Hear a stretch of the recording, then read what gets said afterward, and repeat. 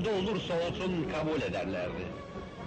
İşte istasyonda trenin hareketini beklerlerken kendilerini uğurlamaya gelen vatandaşlarla sohbet ediyorlar.